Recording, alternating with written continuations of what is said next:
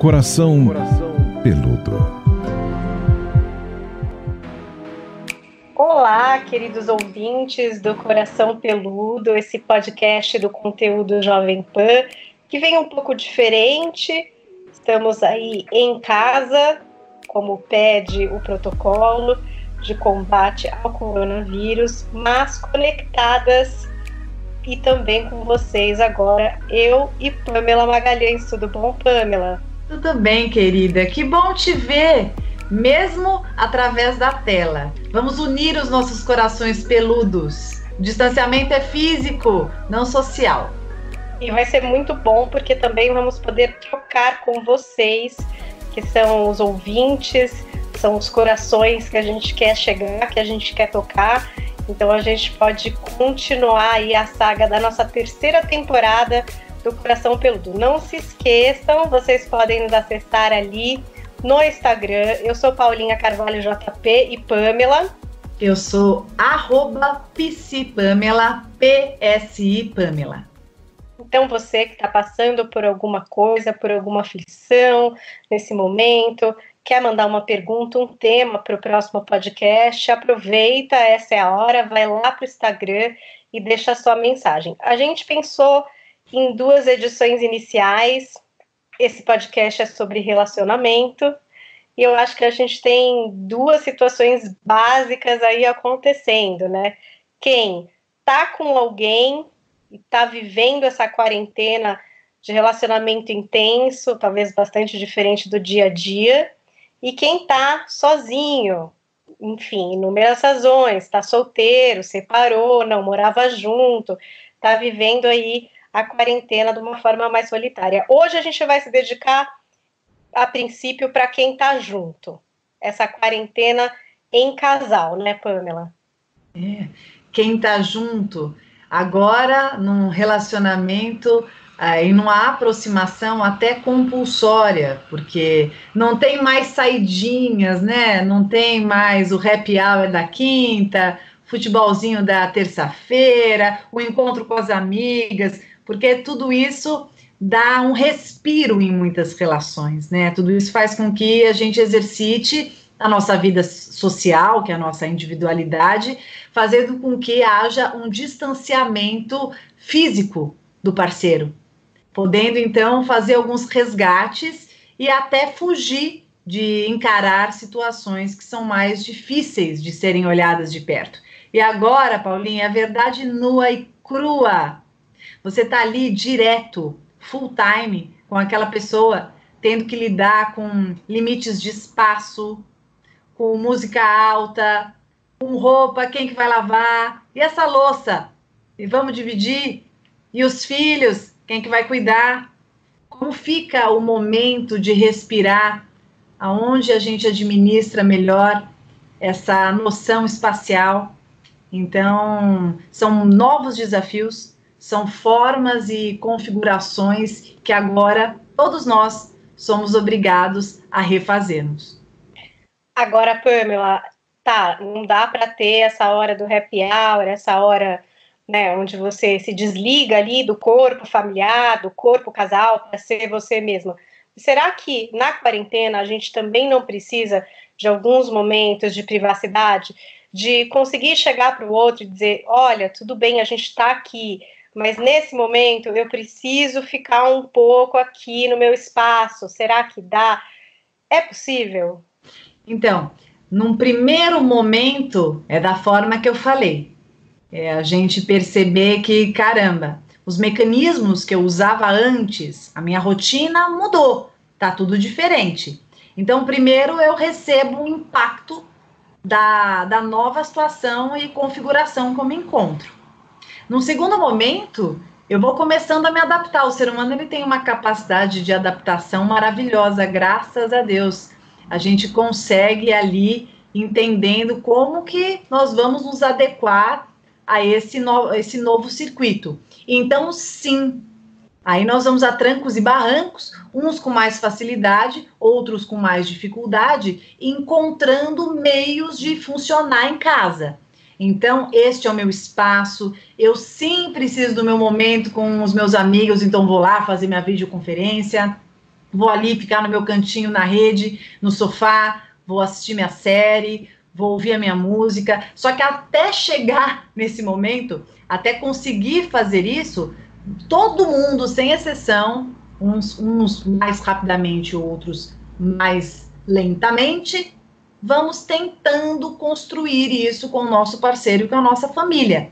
Porque o que não, fal, o que não faltou foi paciente meu dizendo do quanto estava difícil lidar com as atividades do filho em casa, com o marido querendo fazer uma coisa e ela querendo fazer outra. Ou então, meu Deus, meu filho resolveu tocar bateria, que ele sempre tocou, às, sei lá, meia-noite, e eu tenho que eu tenho reunião às oito da manhã. Então, tudo no mesmo espaço tem que ser lidado de uma forma diferente. Então, assim, nós estamos sendo exercitado em recursos que antes nós não éramos. Então, como que fica a nossa paciência? Como que fica a resiliência? Como fica a nossa criatividade, a nossa capacidade de encontrar subterfúgios de fuga e de resolução de conflitos nesse cenário?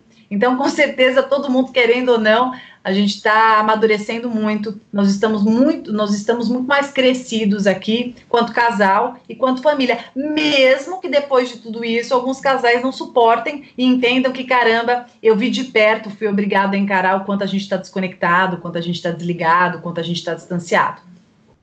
Caramba, né? Teve até uma pesquisa que saiu, Pamela, é, na China, que foi o primeiro lugar onde surgiu essa doença, onde se obrigou o confinamento e que diz exatamente dos divórcios depois desse momento em que as pessoas se viram obrigadas a de fato estarem juntas e dedicadas ali, né, numa convivência, numa divisão de tarefas, enfim. É, pode acontecer isso também, né? De, de repente você. é, você imagina, né? A grande parte das pessoas levam as suas vidas de uma maneira bastante individualista. Então, antes dessa pandemia, tinha um monte de gente, por exemplo, que não passava uma semana inteira em casa por mês, viajando, fazendo reunião fora, é, dormindo no trabalho, voltando de madrugada de trabalho. Muita gente, você com certeza conhece muitas pessoas assim, eu também conheço. Então, com essa situação, com essa epidemia, o que, que acontece? As pessoas elas, elas tiveram, querendo ou não querendo, que ficar em casa. Então não tem, não tem álibi de disfarce, entendeu? Não dá para jogar embaixo do tapete, não dá mais para tampar o sol com a peneira. Você vai olhar de perto e você vai ver, porque às vezes nós mesmos vamos, nós mesmos vamos nos contando algumas desculpas, né? Não, não, não tá ruim, é que tá trabalhando muito. Ah, não, não, não é bem assim, é porque tá estressado, ah, tal. E agora você tem que ver ali que realmente, caramba, não tem libido, né? Tá desgastado, é, a gente não sabe conversar, não é meu companheiro, não é minha companheira, é muito difícil de lidar, a gente briga o tempo inteiro. Então, assim, a aproximação, mesmo que desse jeito compulsório, é uma maneira da gente perceber o que realmente nós temos ali. É, não só pensando em casal, mas você vai, vai enxergar coisas dos seus filhos ou do seu filho, da sua filha, que antes você não via. Caramba, minha filha está muito mal educada. Nossa, mas meu filho está muito agressivo. Como ele está espaçoso. Nossa, mas como ele está egoísta. É, não é que se tornou por causa da pandemia, né? Eu tenho tirado muito isso das pessoas, essa frase. Escuta, não, teu relacionamento não tá ruim por causa do coronavírus.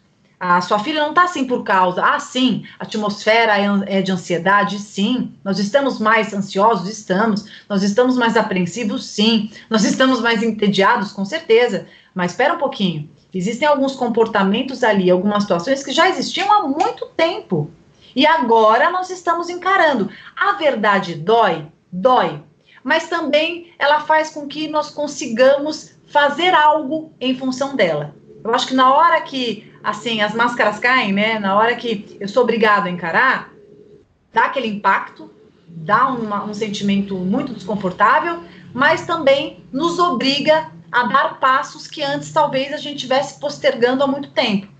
Então, eu não acho que é a pandemia que causou, ou no caso da China que você contou, que vai causar separação ou qualquer coisa. Eu acho que ela até acelera situações que talvez fossem acontecer muito mais tarde, ou então a gente fosse levando com a barriga e sendo infeliz por muito mais tempo. Pamela, e você falou é, dos cliques, né? Tem gente que tem um clique mais rápido, já percebe, ó, oh, preciso me organizar aqui, puxa, não adianta eu lutar contra isso, eu vou ter que ir lá e ensinar meus filhos, tentar ajudar nessa parte da escola, né? Porque tudo isso causa essa ansiedade, essa aflição. E aí também fica mais difícil, por exemplo, de interpretar a quarentena como algo muito romântico, né? Porque é muita coisa para lidar, insegurança no trabalho, tem gente com medo de ser demitida, tem gente que já foi demitido, tem gente que vai ter corte salarial, é, já teve. Pagamento de escola e não entender como é que vai fazer, como é que vai alfabetizar, eu não sei, eu não sei ensinar, o meu filho não engaja, puxa, vai perder o ano. É muita coisa para lidar, né, Pamela? Isso pode até piorar, eu acho. Às vezes um casal que tá meio bem, começa, gente, mas tá muita coisa para lidar agora, né? Também tem isso? É um Você pacote sabe, grande? Eu acho que a gente está vivendo, assim, mundialmente, a, tudo que a gente via nos reality shows, né? Pois assim, é. Aquelas emoções. Nossa, é uma sensação é. mesmo, é. né? Que fala, só pode ser artificial isso. Alguém deve estar me observando, porque não é possível, é um teste show de Truman, né? Eu acho que é um pouco isso, de você. É... Eu mesma, falo por mim, né? Eu acho que não tem nada mais real do que você falar por você. Eu tô saindo zero, porque o meu, o meu pai tem uma doença grave e eu sou a única pessoa que pode ter contato com ele. Eu tô vendo ele só uma vez por semana, porque ele tem funcionários, enfim, que não tem como, né? Tem que estar tá ali com ele direto, dormindo com ele lá. E eu vou uma vez por semana lá toda paramentada para estar tá com ele. Então, assim, eu não estou saindo né? O meu marido sai muito pouco, assim, só para mercado e farmácia, e eu tô direto aqui. Então, às vezes eu chego na minha varanda, tem uma varanda bem pequenininha. Eu vou na minha varanda, me dá um negócio assim, uma falta de ar, né? Porque como a gente está acostumado a, a, a, se relacionar, a se relacionar com o mundo, né? A ter a liberdade de ir e vir. Então a gente está muito privado e desprovido de, dessa experiência do ir e vir. Então, sim, a privação ela vai, ela vai causando muito na gente essa sensação de, de ansiedade, de tensão. Então, o cortisol vai sendo produzido muito mais. Então, se é um momento que a gente tem que estar tá com a imunidade lá em cima, que difícil estar tá com a imunidade lá em cima se a gente está a maior parte do tempo apreensivo, além de todas essas situações que você está falando. Eu falei muito sobre perceber parceiro e perceber filho, mas não posso esquecer de dizer o quanto nós estamos nos percebendo, né? E que quando a gente fica fechado num lugar, a gente ouve os nossos próprios silêncios, a gente é obrigado a dar de frente com as nossas sombras. Então, as, nossa, as nossas inquietudes elas passam a, a lotear os nossos pensamentos, porque aonde eu vou eu me encontro. Quando eu não posso encontrar com pessoas como eu costumo fazer, aonde estou, estou comigo. Está muito difícil se distrair de si.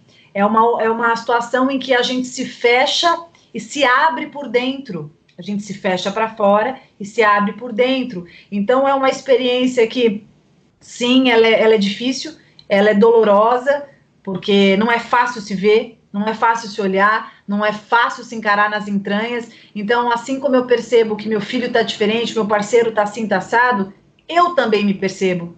Nossa, como eu não sei fazer isso não só nas relações, como de atividades, porque como a gente está sem funcionário, a maior parte das pessoas está sem funcionário, como a gente também é obrigado a lidar com muita coisa que a gente terceirizava. Então, a gente vai lidando com as nossas impotências.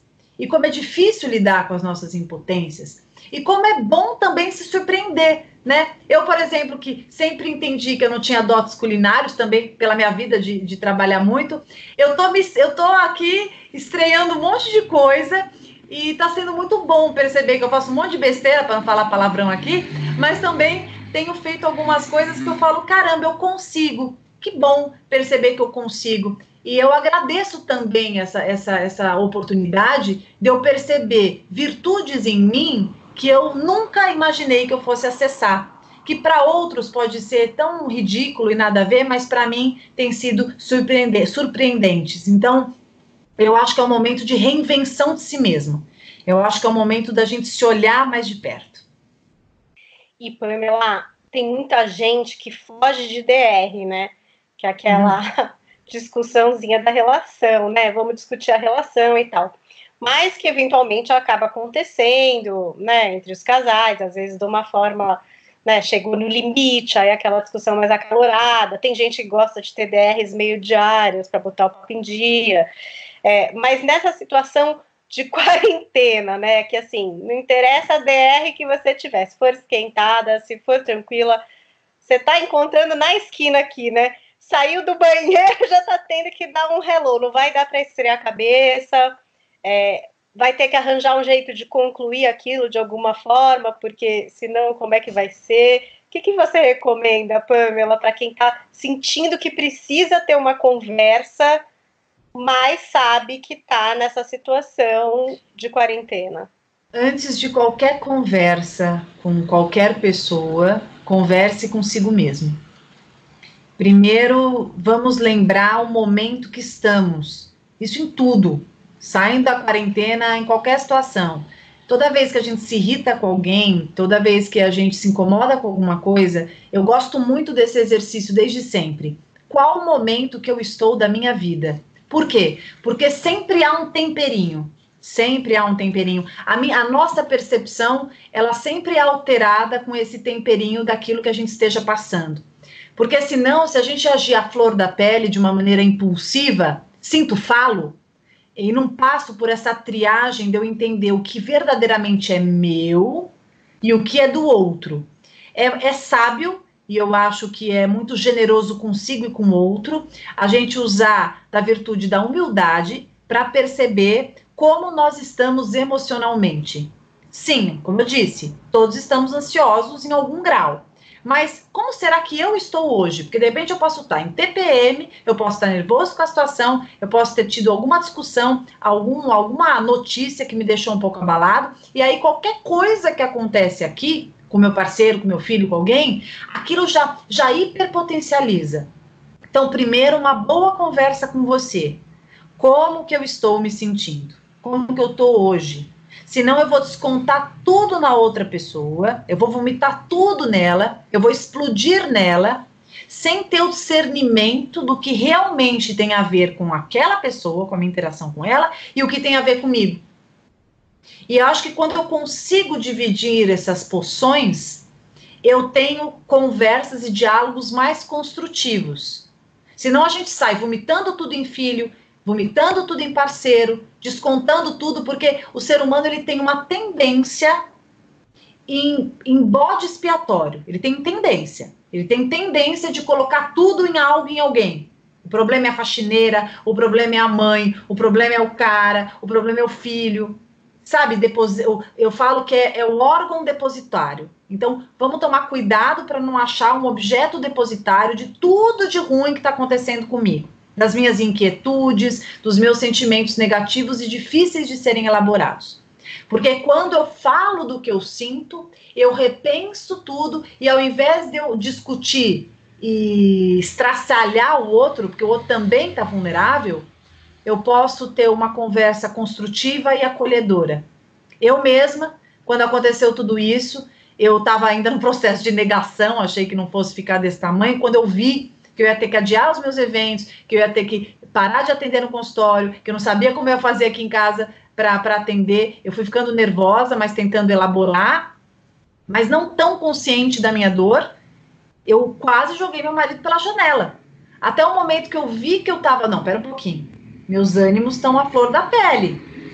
Aí eu fiz esse exercício. Eu tava no quarto, tava chorando, eu falei, não, pera um pouquinho eu estou muito mais nervosa que o meu normal, eu estou muito mais ansiosa que o meu normal, então tem uma parte que é minha e tem uma parte do que ele do que aconteceu entre eu e ele que me incomodou.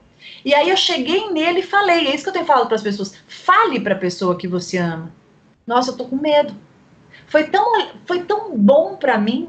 Me deu uma paz quando eu virei para ele e falei: "Nossa, eu tô com muito medo, eu tô muito assustada" eu não estou sabendo lidar, não estou entendendo, porque eu, eu, eu tenho muito essa coisa do imprevisível, como eu tenho, eu tenho uma personalidade mais controladora, e quando eu lido com o imprevisível, isso me assusta.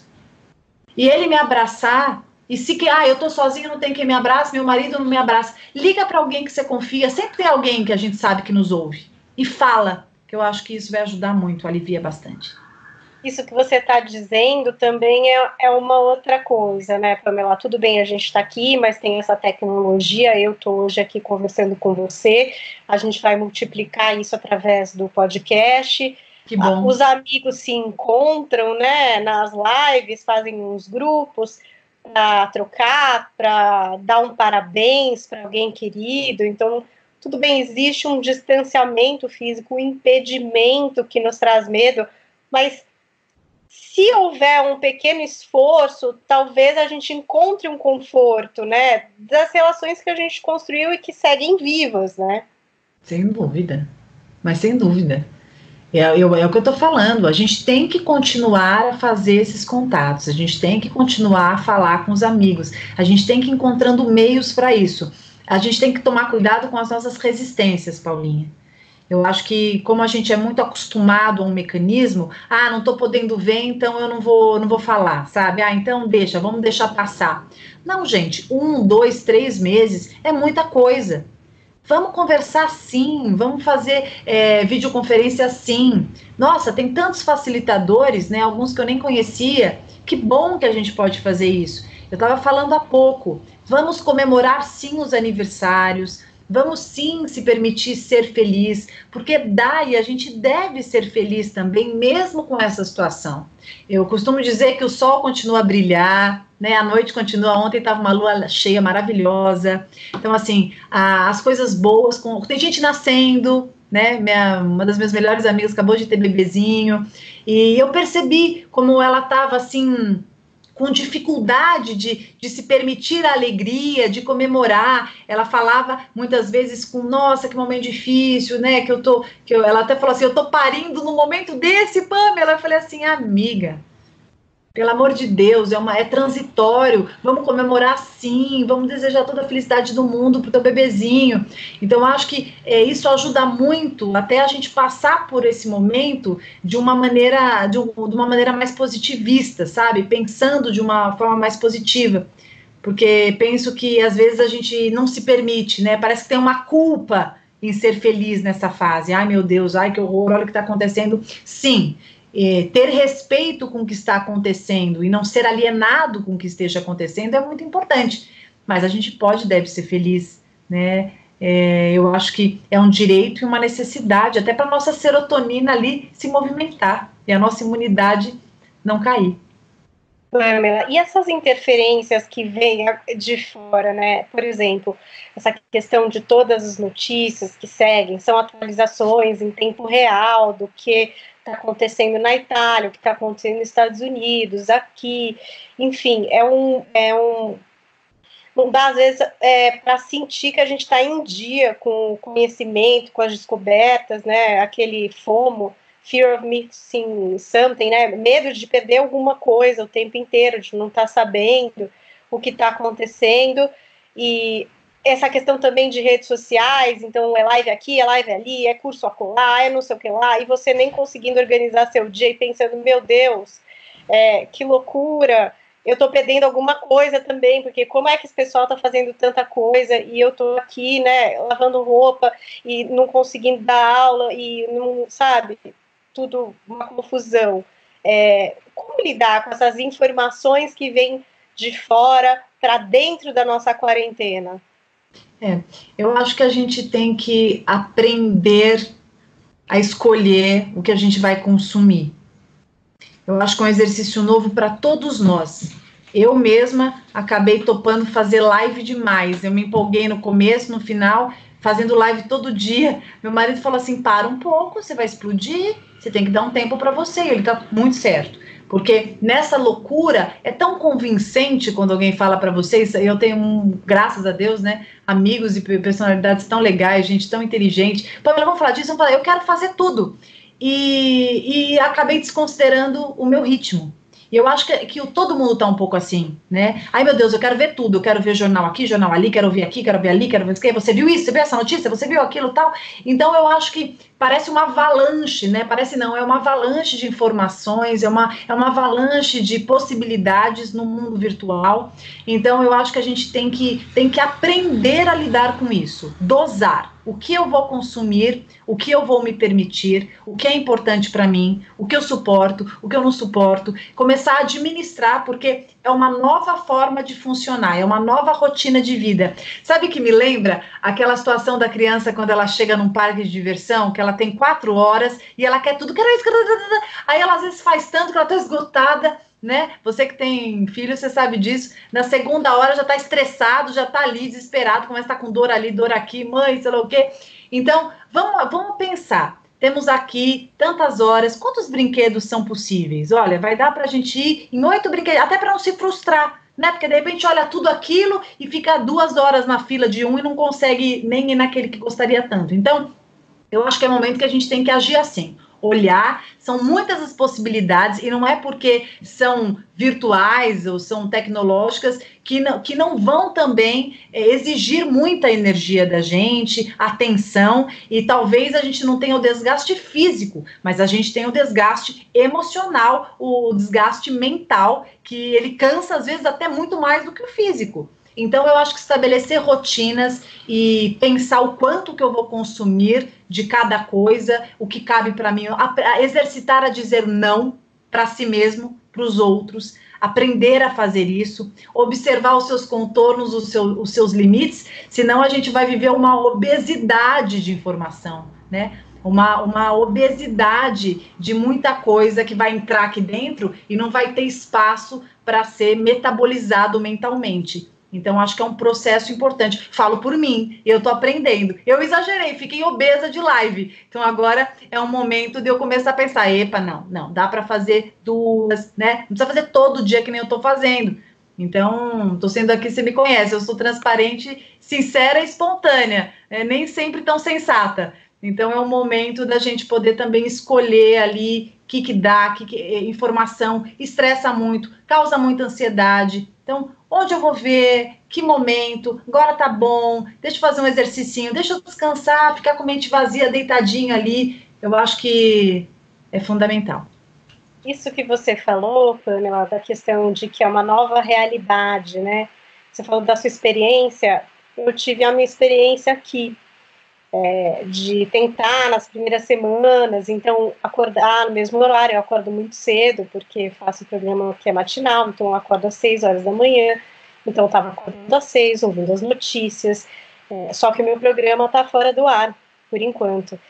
E eu tentando fazer aquele meu dia produtivo, então, como se não estou no programa, então vou escrever aqui, vou fazer no Instagram ali, vou mandar sei lá o quê, e, e tentando produzir do mesmo jeito. E chegou esse fluxo que muitos pais também estão tendo, que é a questão da escola, né? Chegou esse fluxo e eu realmente olhei e falei, gente, vamos lá, não vai dar certo desse jeito que eu estou fazendo. É humanamente impossível eu achar que eu vou ficar das 6 horas da manhã até as três, quatro da tarde, produzindo, produzindo, produzindo, ensinar esses meninos alguma coisa, depois de receber essas informações tensas, de gastar meu emocional, e ainda, quem sabe, ver aqui se a gente não vai dar uma faxina, se a gente o que, que tem para comer. Vai ser impossível, vai ser muito impossível. No fim, eu acabei abrindo mão da minha manhã. Hoje, a realidade é a seguinte: eu fico quatro horas com eles de manhã estudando, tentando ajudar, é um vídeo que tem que assistir, é a educação física que faz um movimento, até dança eu já dancei, Pamela, menina, estou aqui. E joguei e falei, gente, é isso que tem para hoje, essa é minha nova realidade. Boa. Eu vou me dedicar na manhã a esse empenho aqui com os meus filhos e é isso que vai me fazer bem no fim do dia. E no fim, foi mesmo tudo bem, acho que a gente demora para achar os horários, para entender como está funcionando de novo, mas no caso de quem tem família, assim, eu não sei, eu estou achando um lado muito bom disso, de estar tá aqui com os meus filhos. Eu nunca pude tomar café da manhã com eles e almoçar. Fazia lição, mas era uma lição. É, hoje eu estou acompanhando eles de um jeito que seria totalmente improvável, assim. E aí eu vejo vários pais querendo férias né, da escola, porque acham muito difícil estar tá passando por isso. Eu também Paulinha, acho... você vê, você vê algum reflexo neles?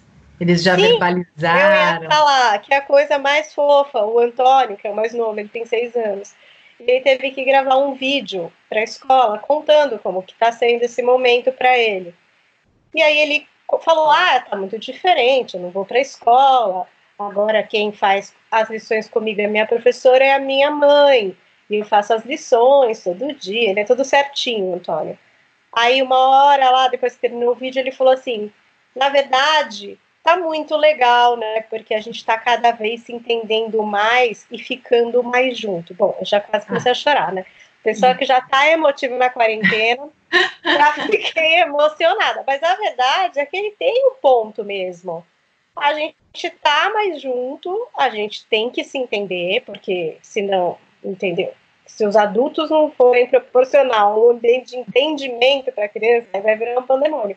E realmente tem sido uma experiência que, assim, eu acho que vai marcar a gente para a vida inteira. Isso aqui é tipo uma situação.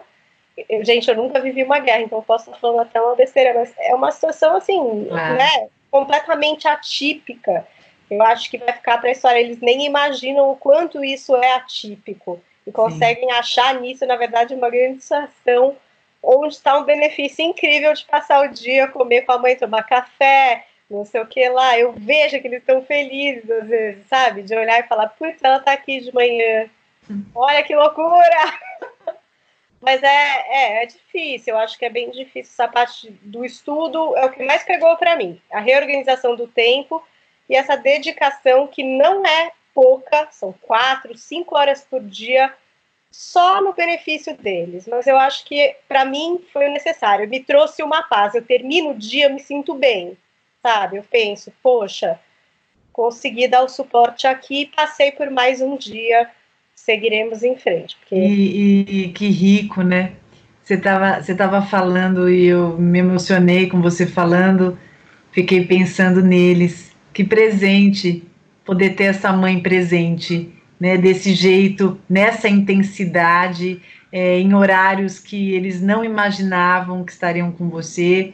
E você falando, eu acho que para quem está escutando, a gente poderia fazer as pessoas refletirem sobre como essa situação que o universo nos, nos propõe faz com que a gente tem, tenha que repensar a nossa rotina de vida e que sim é completamente inviável a gente achar e lutar para que tudo permaneça igual.